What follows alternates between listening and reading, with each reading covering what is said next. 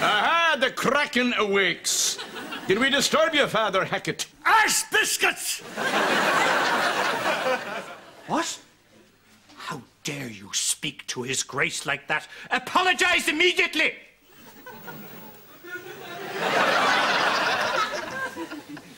I'm so, so sorry.